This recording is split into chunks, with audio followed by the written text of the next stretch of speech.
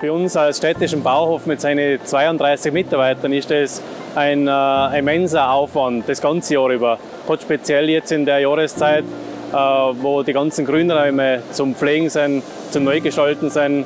Da sind speziell acht Mitarbeiter mit technischem Fachkenntnis damit ausgebildet worden, Grünräume neu zu gestalten, indem sie einen Zeitaufwand von ca. 8000 Stunden pro Monat absolvieren.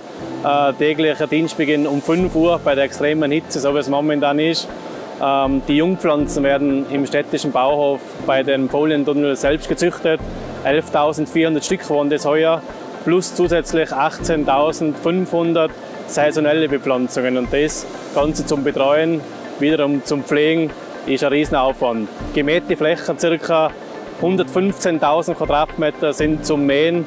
Das sind nur einmal jährlich, sondern wie es momentan ist, bei der guten Vegetation fünf, sechs oder sogar siebenmal ist da ein Mähdurchgang notwendig. Der Grünraum in unserer Stadt ist für uns ganz besonders wichtig. Wir versuchen mit unserer Gärtnerei die Grünräume zu pflegen und da geschieht großartige Arbeit. Tausend Bäume und äh, viele Parkanlagen. Das wollen wir erhalten, das wollen wir für uns sicherstellen und das wollen wir auch zum, äh, für die Bevölkerung zur Verfügung stellen.